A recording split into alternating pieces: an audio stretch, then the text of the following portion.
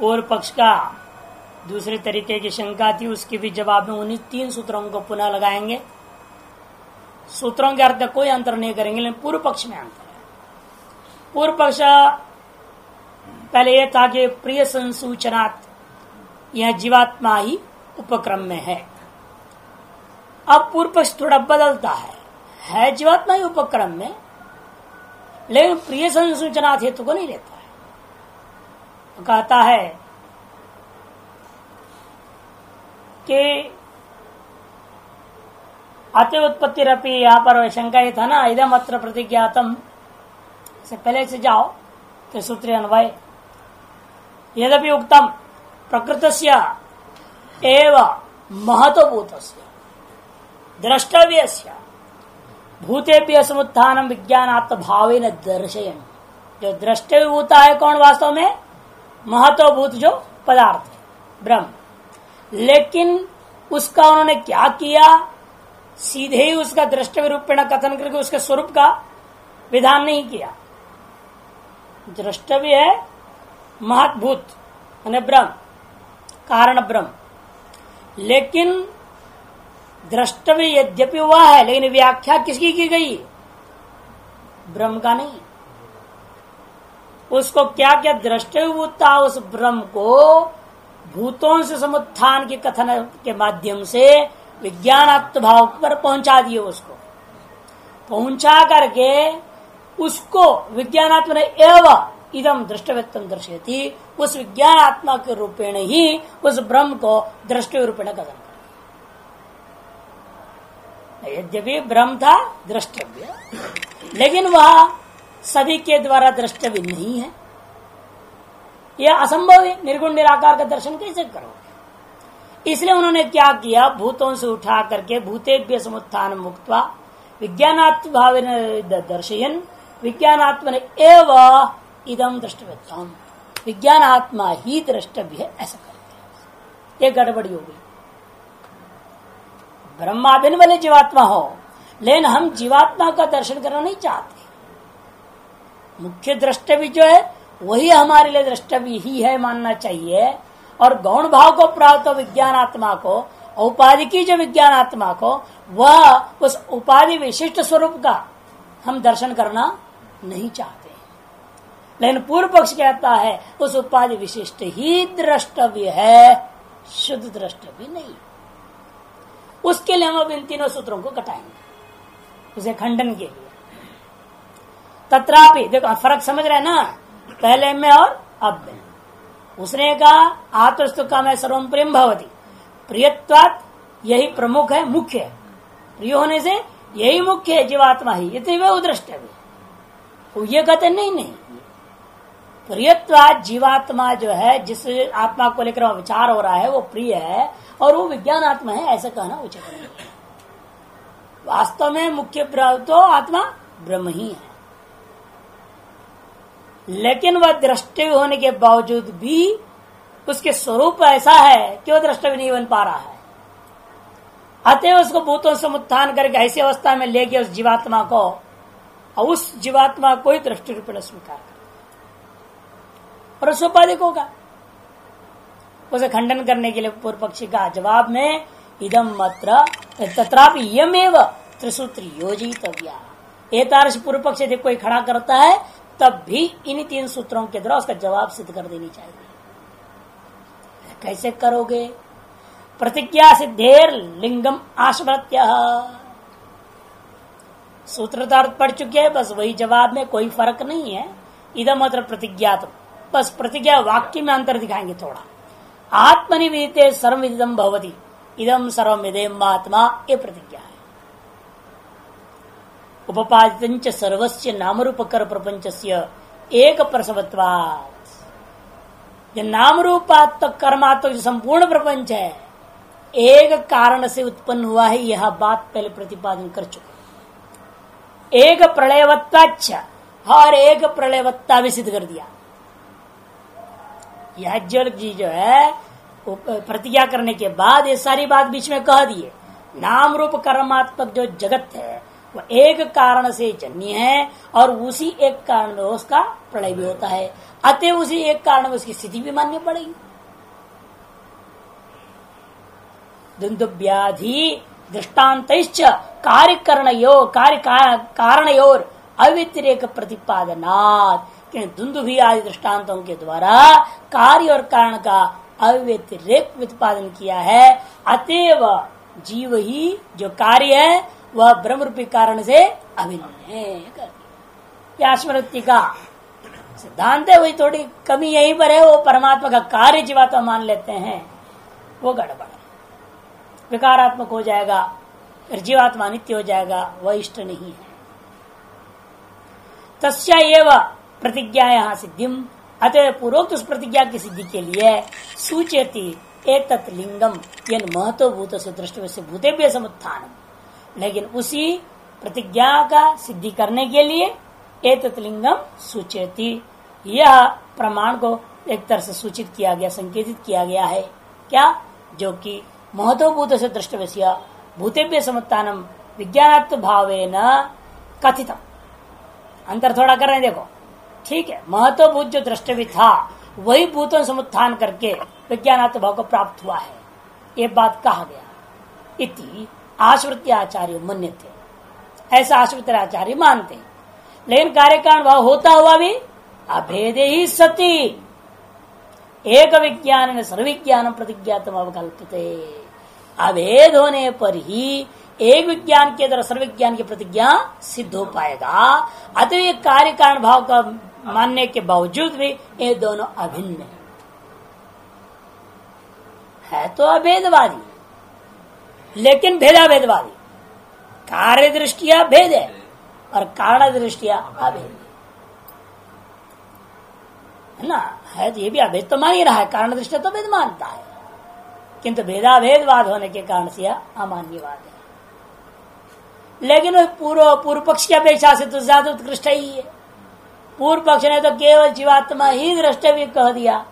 और ये कहते, नहीं नहीं, जीवात्मा से भिन्न ब्रह्म द्रष्टव्य मैं मानूँगा। जीवात्मा रूपा जो कार्य है, इस कार्य का जो कारण है, वो हमारा द्रष्टव्य है। और जीव का कारण माध्यम से कारण का दृष्टान कैसे होगा? कारण के साथ इसका अभेद होने के नाते कार्य का से अभिन्न, कार्य से जो अभिन्न कारण है, वह द्रष्टव्य आसानी से हो जाएगा। ये अंतर है उनमें उससे भी उत्कृष्ट आते औडुलोमी। उत्क्रमिष्यत एवं भावाद यदि औडुलोमी ही। उत्क्रमिष्यता, विज्ञानात्मनो ज्ञान ज्ञानादि सामर्थ्य। संप्रसन्न परेण आत्मना ऐक्य संभवाद इदम अभेदा विधान औडलोमिराचार्य मन्यते। इनकी समस्या ये अवस्था में मानते हैं। मुक्ति के शरीर से मुक्ति के, से मुक्त होने से पूर्व अवस्था में भेद, और उत्तर अवस्था में अभेद। लेकिन अभेद मुख्य है, भेद गौण उनके भेद अभेद दोनों मुख्य है। और इसमें भेद गौण है, अभेद मुख्य। और इसीलिए उत्क्रमण उत्तर काल में एक बार आप अभेद में पहुँच गए, फिर दोबारा भेद में आता नहीं है। उसके यहाँ तो खतरा है ही है। और कारण में गया है तो वापस कभी न कभी उस कारण से कार्य पैदा हो जाएगा। हीरो जीव आ जाएगा संसार में लफड़ा हो जाएगा। उसकी मुक्ति भी सम्यक स्थिरता को प्राप्त नहीं कर सकता है। नित्यत्व तो प्राप्त नहीं हो सकता कार्य कारण भाव में। घटा को फोड़ दो, ठीक है? कब तक फूटा रहेगा वो? धीरे धीरे वो भी चूर्ण हो जाए, वापस मिट्टी मिल जाए, कभी नहीं, फिर उस मिट्टी से घड़ा बन जाए। कारण कार्य का अन्यत्व में समस्या हो जाएगी। यदि वहाँ कारण और कार्य वास्तविक भेद मान लेंगे तो। वास्तविक भेद न माने तो परेशानी खत्म। दोबराने की संभावना समाप्त हो जाता है। इसलिए कहते हैं उत्क्रमिष्य तो विज्ञानात्मन उत्क्रमण करता हुआ यह जो विज्ञान आत्मा है, ज्ञान ध्यान आदि से जन्य सामर्थ्य के वजह से संप्रसन्न अवस्था को प्राप्त करके परेण आत्मना ऐक्य संवाद, पर आत्मा के साथ ऐक्यता को ही प्राप्त कर जाएगा। इतम अभेदाभिधानम, इसलिए यहाँ अभेदाभिधान कथन हुआ है, यदि आचार्य मन्यते। अवस्थित काश कृष्ण काश कृष्ण आचार्य कहते हैं अभेदाभिधान तो है। लेकिन अवस्था भेद से भी अभेद अवस्था नहीं है, किंतु यहाँ पर अवस्थिति है जो, वह आविद्यक है। प्राक मुक्त अवस्था और मुक्त उत्तर अवस्था करके अवस्था भेद को लेकर के नहीं है यहाँ। भेदाभेद, किंतु सदा ही। अभेद एक आश्कृत कभी भेद हुआ ही नहीं। कोई श्रोत मत भेद तो हुआ ही नहीं कभी। वो तो भ्रांति से दिखाई दे रहा है केवल। वास्तव में भेद उत्पन्न ही नहीं हुआ। असीव परमात्मनो, उसी परमात्मा जीवा को प्राप्त हुआ नहीं है, वही परमात्मा का अन्नापि विज्ञानात् भावेन अवस्थानात्। उपपन्नम इदम अभेदा विधान काशकृषाचार्यो मन्यते। वही परमात्मा अने जीवेन जीव रूपेण नाम रूपे व्याकरवाणी कहता हुआ वह परमात्मा ही इस उपाधि में प्रवेश करके जीव भाव से स्थित है। वास्तव इसलिए परमात्मा से जीव अलग है ही नहीं। कार्य कारण भाव भी नहीं, भेदा भेदभाव भी नहीं, कुछ भी नहीं। सब समाप्त हो जाएगा। वही है ना, दूसरा ही नहीं। दो हो तो विचार किया जाए, वह अपने कारण से भिन्न है अभिन्न है। कार्य कारण भाव से भेदा भेद है, या अवस्था भेद से जो है भेदा भेद है। ये दोनों ही बात गलत है कि अवस्था से भी भेदा भेद नहीं है, क्यों? भेद ही नहीं है। वही है। जब वही है तो अवस्थान्तर को प्राप्त परिणाम आदि में क्या होता है? अवस्थान्तर प्राप्त तो अलग माननी पड़ेगी। भेदा भेद मानते हैं। सांख्य आदि यही तो है ना, कि प्रकृति से जब पैदा हुआ मत मत से अहंकार, ये अलग अलग ही रहेंगे वो। भले वही कारण में रह रहा है, फिर भी कार्य अपना स्वतंत्र सत्ता वाला हो जाता है। कार्य में रहते हुए भी। विषम सत्ता परिणाम समसत्ता परिणाम में दोनों में भेद कर दिया ना, इसीलिए ही। कि परिणामवाद में भी खतरा है। परिणाम भी किस प्रकार का मानेंगे, उसमें खतरा होता है। विषम सत्ता जब परिणाम मानेंगे, उससे दिक्कत होगा। वही सांख्यों का मत है। और हमारे समसत्ता परिणाम में कोई दिक्कत नहीं है। माया की जो सत्ता कैसी है, पारमार्थिक तो है ही नहीं। आते उससे उस समसत्ता जो पैदा हो, भी पारमार्थिक कहाँ से होगा? अतः भेद सर्वदा ही अपारमार्थिक सिद्ध हो गया। और अधिष्ठान आत्मा ही पारमार्थिक रह जाता है, इसलिए वही जीव रूपेण दिखाई देता है। इति काश आचार्य मन्यते। तो पूर्व पक्षी कहता है, महाराज, यहाँ तो याज्ञवल्क ने तो कह दिया, नाम नहीं रह जाता है, नष्ट हो जाता, खत्म होता है। उच्छेद धर्म कथन किया। और आप कह रहे हैं कि वो ब्रह्म ही है तो ब्रह्म भी उच्छेद हो जाएगा।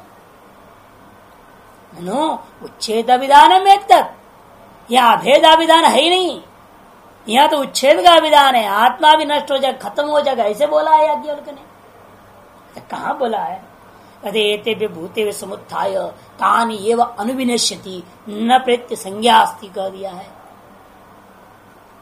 इन भूतों से उठेगा और भूतों का नाश होते होते साथ साथ तो भी, अनु, पश्चात तो भी पीछे पीछे नष्ट हो जाएगा।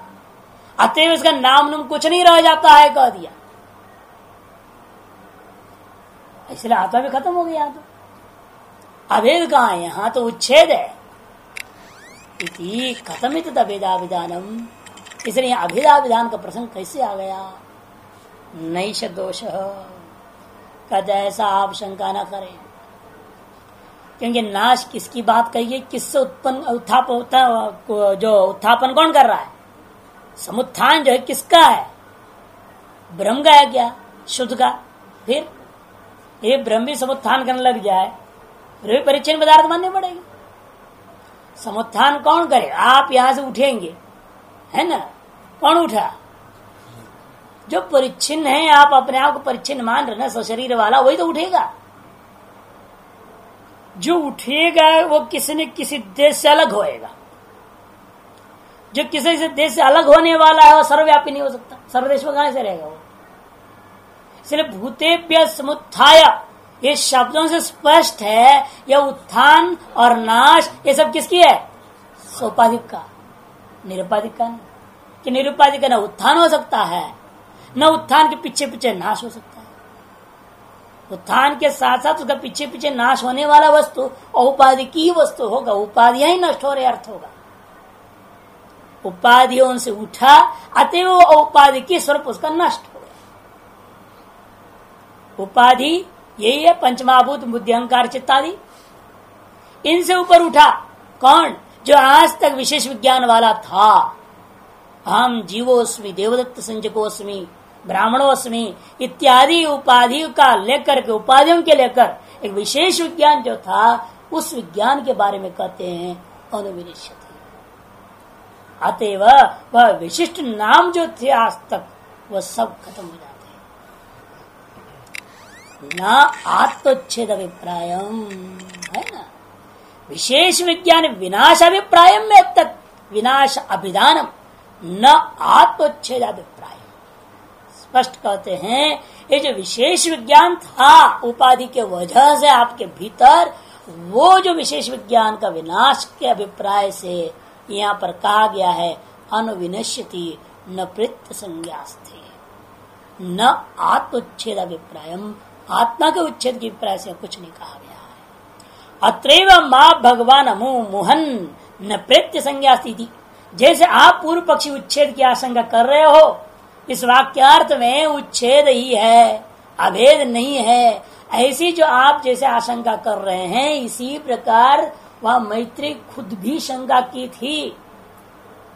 उसके भी मन में यही था, आत्मा ही नाश नाश हो गया। उसके भी मन में आत्मा के नाश की शंका थी। इसलिए उसने कहा, महाराज आपने कैसे कह दिया? हे भगवान भगवान अमुमुहन आपने तो माम मैंने माम अत्र अस्मिन विषय आगत्य एवं अमुमोहन मोह में डाल दिया कौन सी वाक्य तेरे को मुँह में डाल रहा है? न प्रत्य संज्ञा थी ये जो आपने कह दिया, ये तो लगता है कि आत्मा भी नष्ट हो रहा है, विनाशी है वो। इति परिनुज्य मैत्री की शंका को श्रुति ने बताया, और स्वयं श्रुति अर्थांतर से दर्शित स्वयं श्रुति ने, इस वाक्य विनाश अर्थ वाला नहीं है, किंतु अभेद अर्थ वाला, अर्थांतर मैंने अभेद अर्थ वाला है, ये दर्शा दिया कैसे? नवार्य हम मोहम ब्रवीमी। देखो। अरे, मैं तो तुमको भ्रांति में डाल नहीं रहा हूँ। आत्मा के नाश कथन नहीं कर रहा हूँ। फिर क्या कहना चाह रहे हैं इस वाक्य से? अरे, अविनाशी वारे अयम आत्मा अनुच्छिति धर्मा, मात्रा संसर्गस्तु अस्य भवती। ये जब मात्रा के संसर्ग के कारण से मियत अनित मात्रा भूतादे सर्वाणी इंद्रिया च तो वो जो मात्रा है उसके संसर्ग से जो विशेष विज्ञान था वो विशेष विज्ञान का नाश की बात में कहा है मैंने आत्मा के बारे में नाश को कथन नहीं कर रहा हूँ आत्मा अगर मैं यही कहना चाहता हूँ कि वो अविनाशी है अनुच्छित धर्म अनुच्छेद धर्म वाला है अर्थात अभेद है अत उच्छेद नहीं भेद में उच्छेद ज़रूर है। क्योंकि भेद जो भी होगा, वो उपाधि की होगा। सावय होगा, सकल होगा, निष्कल नहीं हो सकता। सक्रिय होगा, निष्क्रिय नहीं हो सकता। सगुण होगा, वो निर्गुण नहीं हो सकता। सावय होगा, वो निरव नहीं हो सकता। जहाँ भेद है तो वे सारी चीज़ें आती हैं, और इन सारी चीज़ें क्या है ये सब? नाश का निमित्त सगुण होना सावय होना, सकल कलाओं से युक्त सकल हो जाना, सक्रिय होना सकाम होना, ये सारी चीज़ें क्या है? विनाश का कारण है। और वो ही नहीं रह गया अतिवे आत्मा अविनाशी। ये हम कहना चाह रहे हैं, अर्थात अभेद का यहाँ कथन हो रहा है, अद्वैत का कथन हो रहा है यहाँ, विनाश कथन है ही नहीं। एक दुत्तम भवती। वास्तव में यहाँ इन वाक्यों का तात्पर्य यह है, कूटस्थ नित्य ये वयम विज्ञान घन आत्मा। विज्ञान मय आत्मा नहीं विज्ञान घन आत्मा है ये। कूटस्थ है, नित्य है यह विज्ञान घन आत्मा नाश उच्छेद प्रसंगोस्ती, उसके उच्छेद की प्रसक्ति ही नहीं है। प्रसक्ति हो तब न विचार किया जाए, कैसे होगा नाश उसका? किसी चीज़ के नाश की संभावना हो, उसके नाश के साधनों की चिंतन होता है। और यह प्रसंग ही नहीं इसलिए उसका विचार ही नहीं होता। मात्रा विस्त से भूतेन्द्रिय लक्षणा भी अविद्या भी असंसर्ग विद्या भवती। और जो विद्या के पूर्व काल तक आपके अंदर मात्राओं के साथ, अस्य, इस आत्मा का भूतेन्द्र लक्षणा भी मात्रा भी भूत और इंद्रिय रूप जो मात्राओं के द्वारा अविद्या करता भी कैसे हो भूत और इंद्रिया? अविद्याकृता भी मात्रा भी असंसर्गो। अस्य आत्मन असंसर्गो। विद्या भवती, विद्या के द्वारा हो संसर्गा भावे च तत्कृत विशेष विज्ञान से अभाव न वृत्ति संज्ञा अस्तित्व संसर्ग का अभाव होने के नाते वो संसर्ग कृत जो विशेष विज्ञान था तत्कृत मैंने संसर्ग कृत विशेष विज्ञान से अभाव वो नहीं रह गया। उस दृष्टिकोण से कह दिया गया था न प्रति संज्ञा इति। यद्यपि उत्तम पूर्व पक्ष ने लेकिन कहा था कर्तवाच्य क्यों प्रयोग किया फिर? विज्ञातारम विज्ञात्री शब्द का द्वितीय एक वचन में विज्ञातारम बनता है। ऐसे क्यों प्रयोग किया? कर्तवाची त्रिच प्रत्यांत लग रहा है यहाँ। हाँ, कहते हैं? विज्ञातारम किन विजानी कर्तृवचन शब्द न उपसंहाराद विज्ञानात्म ने एवं विज्ञानात्म में तो कर्तृत्व है ना इसलिए जीवात्मा का ही मामला यहाँ ब्रह्म का विचार नहीं है ये पूर्व पक्ष कहता है विज्ञानात्म इदम कथनम द्रष्टव्यम। तदपि काश दर्शन परिहरणीय काश कृष्ण का दर्शन से उसका भी परिहार। हो अज्ञान अवस्था में जो विज्ञान आत्मा था, उसको लेकर के कर्तृवाच्य प्रयोग हो गया और उसकी ज्ञान अवस्था में वो जो कर्तृत्व, भोक्तृत्व, सकल भाव से रहित रहे। अपिच्छा, यत्र द्वैतम इव भवती तजितर इतरम पश्यति। आरभ्य अविद्या विषय तस्व दर्शनादि लक्षण विशेष विज्ञान प्रपंच इसी ब्रह्म सूत्र में द्वितीय अध्याय में वृदारण्य के प्रति द्वितीय अध्याय में आरंभ किया, यत्र द्वैत में होती तो इतर इतरम पश्यति, अविद्या की महिमा को दिखा रहे हैं वहाँ अविद्या का विषय को, और अविद्या निमित्त की दर्शन, श्रवण मरण इत्यादि सकल क्रियाकलाप हुआ करते हैं। इधर इधर पश्यति, इधर इधर जिग्रति इधर इधर विषण होती इत्यादि सारे चीज़ों का वर्णन किया दर्शनादि लक्षणम विशेष विज्ञान प्रपंच। उसके बाद जब विद्या का मामला आया सर्व आत्मबोध तत्के न कम पश्य जहाँ पर यह सब कुछ आत्मा ही हो जाता है, वहाँ किसे किसे देखेगा बताओ।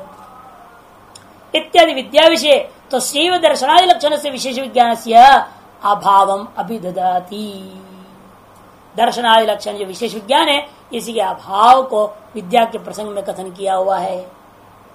पुनश्च विषय भावे आत्मन विजानियात इति आशंक्य। विषय अभावे भी आत्मन विजानियात अतः विषय यह विशेष विज्ञान के अभाव को उपादन करता है। इससे ऐसा ज्ञात होता है कि भाई, फिर तो आत्मा को विशेष रूप से जानो ये अर्थ करनी पड़ेगी। विषय के अभाव में भी यह मन में आ सकता है, आत्मा को विशेष रूप से जानना चाहिए। इत्याशंका जब ऐसी आशंका हो तब ये वाक्य प्रयोग विज्ञात आरंभ के विजानियात। सकल विषयों का विज्ञाता भूत विशुद्ध आत्मा को भी अब किस साधन से जानोगे बताओ? जो विषय ही नहीं रह गए, विषयों का अभाव हो गया तो उन विषयों के अभाव को भी जानने वाला, विषयों को जो जानने वाला था, वही विषयों के अभाव को भी जान रहा है। उस विषय और विषय अभाव का सबको जानने वाले को तुम किस सब जानोगे? किस साधन से जानो कोई साधन ही नहीं रह गया। कि जो भी साधन विषय कोटि में और उसका अभाव आपने कह दिया। जो भी साधन है, वो भी विषय कोटि के अंतर्गत ही आएगा ना। साध्य साधन भाव जो कुछ भी है, वह विषय कोटि में। इसलिए क्या साध्यशना और साधन द्वे वास्तव में ऐसा दो ही है। एक साध्यशना और साधनेशना। ये सभी विषय है। तो विषय कोटि में सारे आ गया। जब उसके अभाव कह दिया तो न साध्य, न साधन कुछ भी नहीं हो गया। और कैसे जानोगे उसको उस अपेक्षा दृष्टिकोण से यहाँ कर्तवाच्य प्रयोग कर दिया है। विज्ञात विजानी तथा विशेष विज्ञान अभाव उत्पादन प्रत्यात वाक्य विज्ञान धातु रेव केवल सन भूतपूर्व गत्या कर्तृवचन त्रिचा निर्दिष्ट की गम्यते। वो भूतपूर्व गति को लेकर पहले था ना ये, कर्ता। अब मुक्ति के बाद कर्तृत्व वक्तृत्व भले ही नहीं है इन अविद्या काल में इसके अंदर विज्ञान का कर्तृत्व था। उस कर्तृत्व का अनुवाद करके यहाँ पर कथन किया, मुक्ति काल में पूर्वकालीन जो यादृशी विज्ञातृत्व तुमने माना था, तादृश विज्ञाता को किस साधन से जानोगे? ऐसे केवल भूतपूर्व गति का अनुवाद करना पड़ता है, सांप्रतिक का अभाव भी भूतपूर्व गत्याश्रियत है न्याय है। सामान्य न्याय है यह लोक में सांप्रतिक अभाव भूतपूर्व गत्याश्रियत है। भूतपूर्व गति को कोई कथन ऐसा करना पड़ जाए मजबूरी में, वर्तमान में भले ही ना हो, वो चीज़। वर्तमान में भले ही कर्तृत्व भोक्तृत्व नहीं है। सांप्रतिक अभाव मैंने वर्तमान में न रहने पर भी भूतपूर्व गति में आश्रित है। भूतपूर्व गति को आश्रित करके कथन किया जाता है। समझाने के लिए यही प्रक्रिया होती है। विज्ञान धातु रेव केवल सन यद्यपि केवल विज्ञान घनिक रस है वो। फिर भी भूतपूर्व गत्या ऐसा होते हुए भी सन क्षत्रिय प्रत्यांत इसलिए यद्यपि वो आत्मा केवल है, विज्ञान घन का रस है, ऐसा होते हुए भी भूतपूर्व गत्या कर्तृवचन त्रचा भूतपूर्व गति को आश्रित करते हुए कर्तृवाचक त्रिच प्रत्यांत को लेकर के मुक्त अवस्था में भी कथन कर दिया गया। निर्दिष्ट गम्यते, ऐसा महसूस मालूम होता है। दर्शितंत पुरस्ता काश कृष्णीय से पक्ष से श्रुति मत और हमने पूर्व में बता दिया है जो काश कृष्णीय मत है, वही वास्तविक मत है, वह हमने पहले दर्शा दिया। कि वास्तव में न जीव था, न कर्तृत्व था, न भोक्तृत्व था, कुछ भी नहीं है। वह परमात्मा ने ही अपनी अविद्या के, माया के माध्यम से सारा जगत को खड़ा किया। स्वाधीन माया इतना ही अंतर है पर पराधीनता नहीं है। स्वाधीन माया को लेकर के उसे सब कुछ किस अगला में शंका आएगा। फिर वो माया कोई स्वतंत्र कारण है। बार बार आप लोग जब पूछते हैं ना अभिनिमित्त उपायन कारण, उसका प्रसंग अभी उठाएँगे। क्योंकि बार बार ये बात आएगी तो माया से बनाया तो माया मिथ्या सब मिथ्या ही है। फिर उपायन कारण मिथ्या हो गया, माया है उपायन कारण वो मिथ्या हो जाएगा। क्या कहते माया भी उस पुरुष ब्रह्म से भिन्न नहीं है, सुंदर सत्ता कहीं नहीं। अतएव हम ब्रह्म में अभिनिमित्तोपान कारण व्यवहार कर लेंगे। कि माया भी उसमें अभिन्न रूप नहीं प्रतीत है, स्वतंत्र है ही नहीं वो। स्वतंत्र होता फिर द्वैतवाद खड़ा हो जाएगा इसलिए अगला अधिकरण में ही आएगा, पूर्व पक्ष कहेगा, स्वतंत्र कारणवाद खड़ा करेगा सांख्य आदि मतानुसार में चलेगा, वो कहेगा द्वैत है, और हम वहाँ कहेंगे अद्वैत है। अभिन्न वित्तोपान कारण सिद्ध करेंगे। तो उसी की भूमिका एक तरह से आप बांधते हुए हम पूर्व में कथन कर रहे हैं। अविद्या काल और विद्या काल का अंतर करते समझा रहे हैं। दर्शितंत प्रकाश कृष्णीय पक्ष से श्रुतिमत्व अतच विज्ञान परमात्मा और अविद्या प्रत्युपस्थापित नाम रूप चित देहादि उपाधि निमित्त भेद न पारमार्थिक अर्थ सर्वैर्वेदांतवादि अभ्युपगंतव्य इसलिए विज्ञानात्मा और परमात्मा इन दोनों का बीच में केवल अविद्या के द्वारा उपस्थापित कर दिया गया था नाम रूप रचित देहादि नाम रूप आदि से रचित देहादि उपाधि निमित्तक ही भेद था इन दोनों में भेदो न पारमार्थिक भेदा। पारमार्थिक इन दोनों में कोई भेद नहीं है। यह अर्थ को सकल वेदांतवादियों के द्वारा अवश्य ही स्वीकार करना चाहिए। जितने भी वेदांति भेदा भेदवादी द्वैता द्वैतवादी जितने भी लोग हैं, इन लोगों को सबको कह दिया, आप सब यही मानिए। हम नहीं मानेंगे जी तो क्या करें? कहते हैं भाई, देखो हम दिखा सकते हैं। क्यों मानना चाहिए? वो हम बता देंगे मानना न मानना तुम्हारी मर्ज़ी है। क्या करें? किसी ज़बरदस्ती तो हो नहीं सकता। कोई कहे कि ये घोड़ा काला है, क्या करें? उसको हम काला बना के दिखा नहीं सकते। हम उसे दिखा ही सकते हैं कि ये सफ़ेद है। और सफ़ेद को भी काला कहेगा तो क्या कर लो? जैसे कल बता रहा था ना, गौशाला में ले जाओ, फिर भी वो कहे, मैं, मेरे आँखों में तो यही दिख रहा है सब जब गायों से काली दूधी निकल रही है, तब क्या करोगे? कोई रास्ता नहीं है। इसलिए कहा, तर्कता माँ उतर वो कुतर्क और सारी दुनिया को कह देगा, तुम सब दुनिया का आँख खराब है, मेरा ही आँख सही है हम देख रहे हैं जो वही सही है। काली गाय से काली दूध, लाल गाय से लाल दूध निकलती है। सारी दुनिया एक तरफ़ वो अकेला एक तरफ़ खड़ा है। वो कुतार्किकों की दुर्दशा होती है। इसलिए यहाँ पर कहते कि कुतर्क मत करो। लेकिन हम आपको प्रमाण दिखाएँगे, जिसके आधार पर अद्वैत की सिद्धि होती है। सदैव स्वमिदम अग्रासित एकम द्वितीय देखो, छांदोग्य में। आत्मविदम सर्वम छांदोग्य। ब्रह्म सर्वम मुंडकोपनिषद इदम सर्व यदेमात्मा प्रधान्य नान्यतोस्ति दृष्टा नान्य तथोस्ति दृष्टि वृदान्य है इतम रूपाभ्य श्रुतिभ्य स्मृतिभ्य। स्मृतियाँ भी वासुदेव सर्वमिति समात्मा दुर्लभ क्षेत्र माम विद्धि सर्व क्षेत्रेश भारत। समम सर्वेश भूतेषु तिष्टन्तम परमेश्वरम। अविभक्तम विभक्तेषु इत्या सारी स्मृतियों को लेना इतम रूपाभ्य भेद दर्शन अपवादाच इतम रूपा स्मृतिभ्य पूर्व में भेद दर्शन अपवादाच और भेद दर्शन का अपवाद सब जगह किया हुआ है।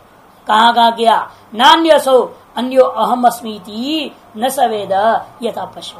अन्यसो अन्यो अहम अस्मी वह भिन्न है मैं भिन्न ऐसे मानने वाला आज तक बिल्कुल जानता नहीं, वो पशु है जैसा पशु होते वैसा है।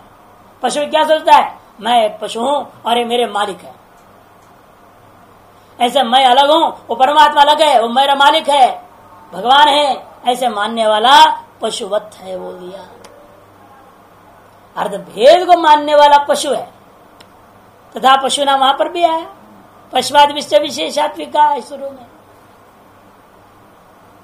इतम रूपाप्या स्मृति में भेदर्शन वादाच अन्योसो अन्योहम अस्मी न सवेद यथा पश्य मृत्य समृत्यम आपनोति यह नान पश्यति। इतम जातीय भेद दर्शन अपवादा इस प्रकार के श्रुतियाँ भेद दर्शन का अपवाद करने वाली अनेकों हैं। सवैश महान अजात्मा अजरो अमरो अमृतो अभयो ब्रह्म इति आपने सर्व विक्रिया प्रतिषेधा। अद्वैत इसलिए भी मानना पड़ेगा। किसी भी प्रकार की विक्रिया का गुंजाइश नहीं है वहाँ पर। तो अद्वैत कैसे हो जाएगा? किस चीज़ को द्वैत में लाना भी चाहोगे? वैसे कुछ विक्रिया की संभावना होनी चाहिए ना। अगर मिट्टी है अब घड़ा बनाना चाहोगे तो विक्रिया का गुंजाइश होनी चाहिए मिट्टी में। तब तो होगा। अब जैसे मान लीजिए एक रुपया को तोड़ना है। तोड़ दो। गुंजाइश है पचास पचास इसका दो हो जाएगा।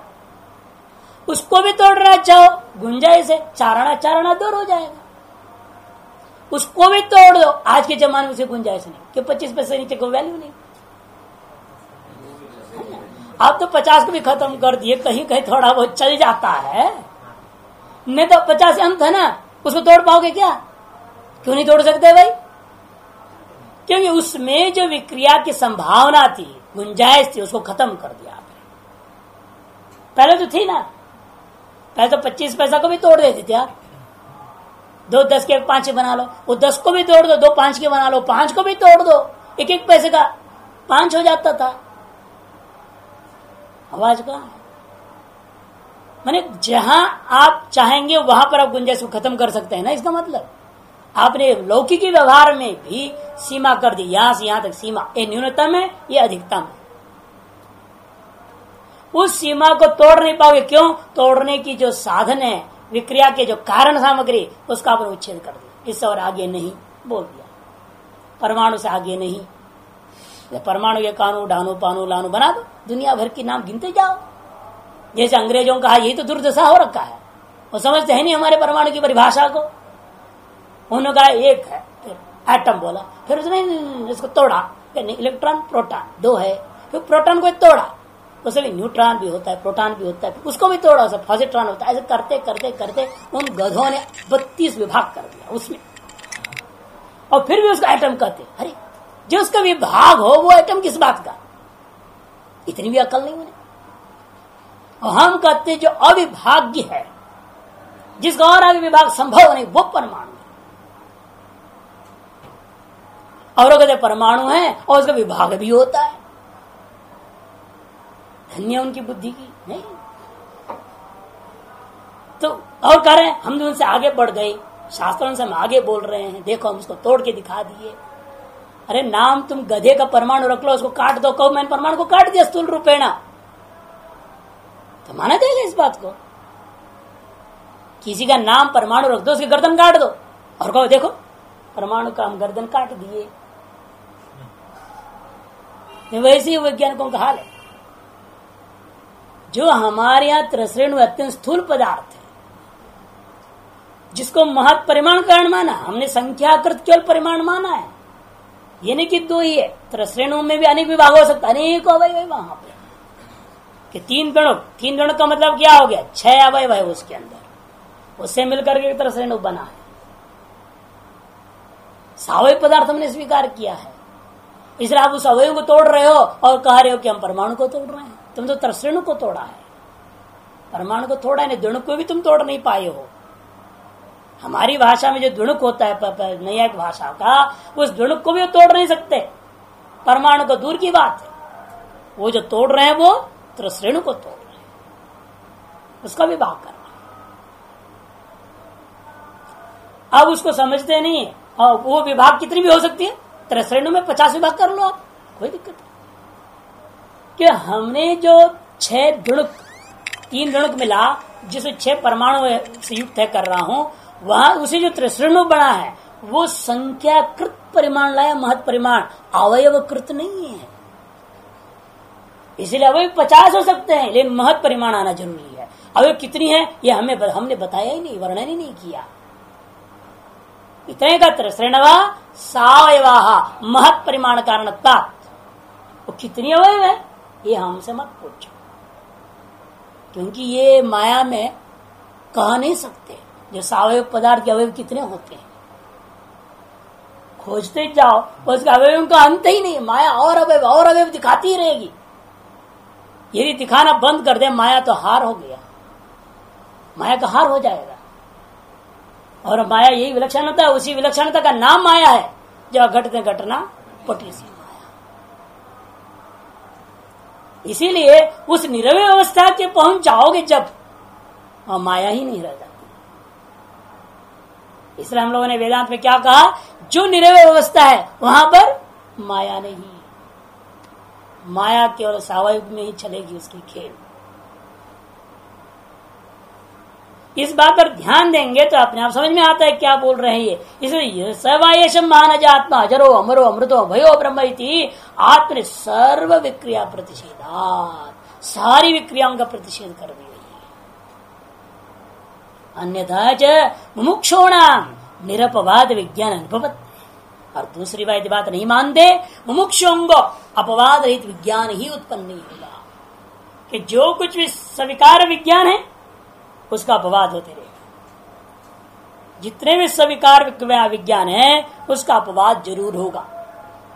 जैसे आप किसी व्यक्ति को कुछ समझे हो कि ये अमुक है तो ठीक है, लेकिन आपका वह सोच आप ही के द्वारा अपवाद कर दिया जाता है, महीने बर्बाद होता है कि नहीं होता है? आपने किसी को अच्छा आदमी समझा है, परम मित्र बना लिया है और उठ रहे, बैठे, खाए, पिए, घोटे, माल मजाला चक रहा है, बढ़िया काम चल रहा है। महीना, दो महीने के बाद किसी छोटी सी बात खिटपिट हो गया तो कहेंगे, जल बदमाश। अरे, जो तुम्हारे लिए भगवान था, सबसे प्रिय था, इतना बढ़िया मित्र था, वो बदमाश हो गया। मैंने क्या है, स्वीकार का विज्ञान जो आपके अंदर पहले था, उसका आपने स्वयं अपवाद कर। संसार में किसी भी वस्तु का आप देख लीजिए इसी प्रकार से स्वीकार पदार्थों का जो भी आपके अंदर विज्ञान रहता है, वह विज्ञान निश्चित रूप में अपवाद हो जाता है। यही हम देख रहे विज्ञानों में। ये जो वैज्ञानिक करके आ रहे रोज नहीं थियरी रोज नहीं थियरी आ रही, क्यों आ रहे अरे तुम्हारा कोई स्थिर को करो। अटामिक थियोरी पच्चीस एटॉमिक थियोरी हो गए। हर थियोरी देखो उनकी तो। न्यूटन ने भी कहीं थियोरी बना डाले, जीते जी। तो वो क्यों बदल रहे हैं? कि बदलना पड़ता है उन्हें, क्योंकि वो विक्रिया को पकड़ के जाँच रहे हैं। अविकृत तक पहुँचे ही नहीं है। और जितने आप देखेंगे और चमत्कार देख सकते हैं माया के कोई अंत नहीं है। और माया ऐसी चमत्कार कर दिखाएगी, आपको भूल भुले में फंसाती रहेगी। यही वैज्ञानिक चौंध में पड़े हुए हैं, और चकाचौंध करने में लगे हुए हैं। कंप्यूटर हुआ, ये हुआ, वो हुआ, बनाए जाओ बनाए जाओ। लगे हुए नई नई टेक्नोलॉजी आ रही है नई नई तकनीक आ रहे हैं। लेकिन उसका अंत तो कभी पा नहीं सकते बल्कि यह महसूस होने लग गया उनको, हम जितनी तकनीक नया लाते उतनी हमें दुख झेलना पड़ रहा है। उतनी ज़्यादा दुख है। आज अमेरिका जितना परेशान है इस विश्व के अंदर, और कोई देश परेशान नहीं सब देश सुखी है। एक वही है, अंदर से उसको 24 घंटा बुम बुम चलते रहता है।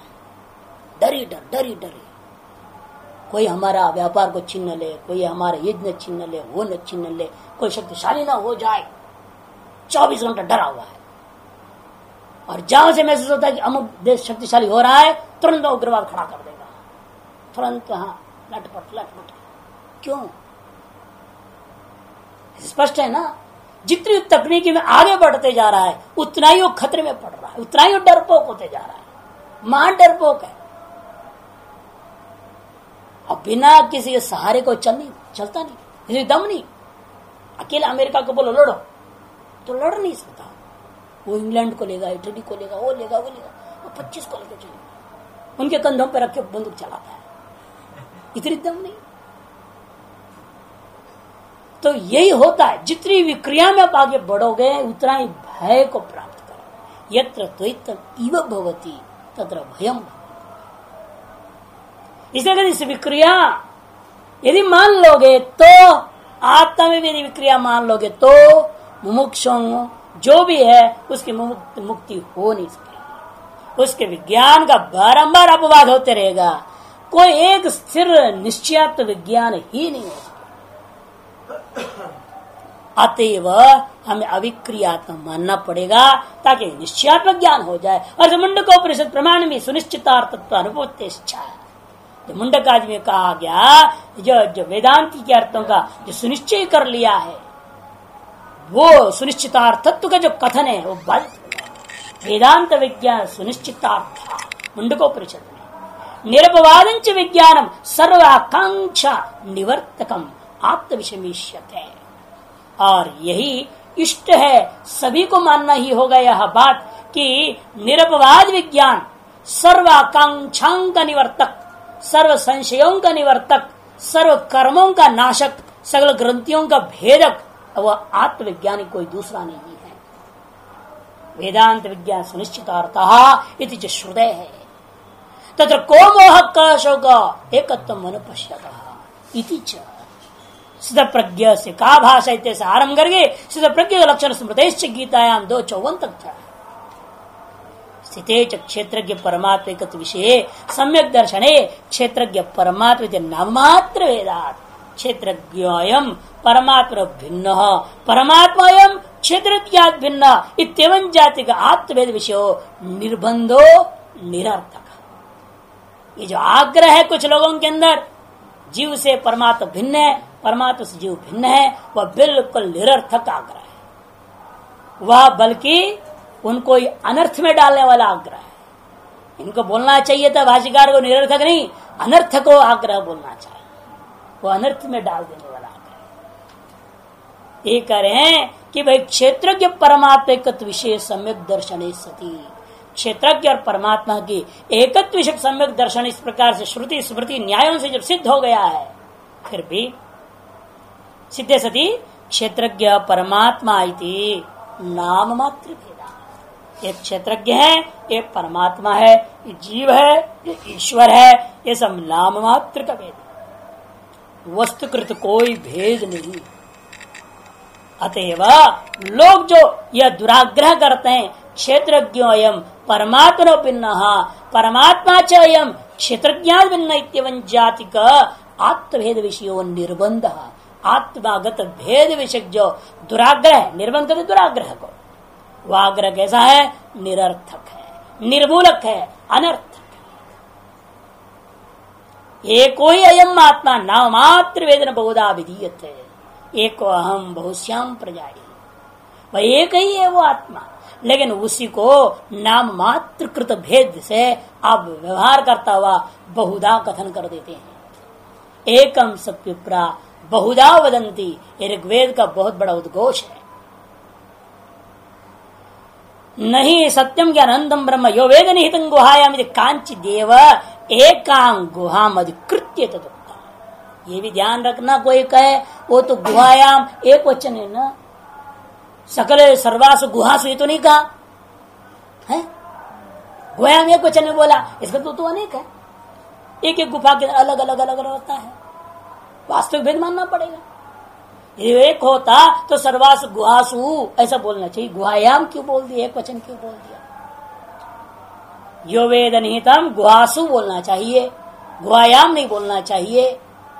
यदि ऐसा कोई शंका करें, यदि कांचित एकाम एव गुहाम अधिकृत दुक्तम न ऐसा नहीं समझो। कोई एकाध गुफा में ही वह ब्रह्म रहता है। ऐसा मत समझो। यह प्रत्येक गुफा में अलग अलग रहता है। इसलिए एक वचन प्रयोग किया। ये दोनों ही अर्थ नहीं देना न चैन? नहीं हाँ नहीं है तो दुखतम। हाँ, नहीं नहीं है। नहीं है नहीं है तो दुखतम। अधिकृत उत्तम नहीं। न च ब्रह्मणो अन्य गुहायाम निहित अस्थि कि ब्रह्म से भिन्न कोई दूसरा क्षेत्र की जीवात्मा नाम का वस्तु गुहा में निहित भी नहीं है। तो सृष्टा तो दोनों प्रवेशित थी। सृष्टुरेव प्रवेश श्रवणात्। जो उपाधि का सृष्टा है, वही से प्रवेश व्यर्थ कर रहा हुआ है। ये तो निर्बंधम कुरंती जो फिर भी दुराग्रह करते हुए भेदा भेद भेदवाद आदि द्वैतवाद आदि को स्थापना करना चाहेंगे, ते वेदांतार्थम बाधमाना। श्रेयोदारम समय दर्शन में बाधन वेदांत अर्थ को बाधित करते हुए वास्तव मोक्ष का मार्ग को ही बंद कर दिया उन्हें मोक्ष द्वार बंद हो गया उनके लिए। कृतकम अनित्यंच मुख्यम कल्पयंती और उनके मत के अनुसार जो द्वैता द्वैतादि मानोगे तो कृतक अनित्य मोक्ष कल्पना करना पड़ जाएगा।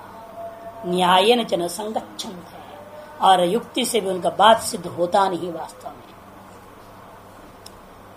अब इसके बाद प्रकृति अधिकरण आरंभ होता है। वो कहेगा कि नहीं। देखो, कार्य भूता जगत उस ब्रह्म से पैदा नहीं हुआ है। कि ब्रह्म तो चेतन है। जगत तो जड़ है। चेतन से जड़ कैसे पैदा हो जाएगा? पैदा हो नहीं सकता। इसलिए जड़भूत है, जगत का कारण अलग मानना पड़ेगा, परमात्मा से भिन्न मानना पड़ेगा। भैया ब्रह्म से भिन्न है तो उसको स्वतंत्र भी मानना पड़ेगा। तो द्वैत सिद्ध हो गया। ब्रह्म हो गया। उससे बिन जद कारण देख अलग, दूसरा आइटम बन गया। दो आइटम आ गए तो द्वैत हो गया ना अद्वैत कहाँ रह गया। और एक दूसरे का सापेक्ष भले ही हो हाँ लेकिन निरपेक्ष कारण था क्यों? प्रकृति के बिना पुरुष पैदा नहीं कर सकता जगत को। और पुरुष के बिना प्रकृति अकेले भी पैदा नहीं कर पाएगी। इसे वो लोग भी मन सांख्य यही तो कहते हैं, दोनों स्वतंत्र हैं, दोनों वास्तव में परस्पर निमित्त नैमित्तिक भाव से वार कर रहे हो, फिर भी निरपेक्ष है। सृष्टि दृष्टिया सापेक्ष है, सत्ता दृष्टिया निरपेक्ष है। चैतन्य को अपनी सत्ता को पाने के लिए, अपने अस्तित्व के लिए प्रकृति की अपेक्षा नहीं है। और प्रकृति अपनी सत्ता में स्थिति होने के लिए पुरुष की अपेक्षा नहीं है। स्व सत्ता दृष्टिया स्थिति पाने के लिए एक दूसरे के निरपेक्ष है। लेकिन सृष्टि को उत्पन्न करने के लिए एक दूसरे सापेक्ष। अतएव द्वैत सिद्ध हो जाता है। तो सिद्धांत अब यहाँ पर रास्ता निकालेगा, श्रुति स्मृति अनेक सूत्र बनाएँगे, यहाँ पर हेतु देंगे और कहेंगे, नहीं नहीं अभिन्न निमित्तोपान कारण मानना पड़ेगा। इसलिए प्रकृति अधिकरण अब आरंभ होता है।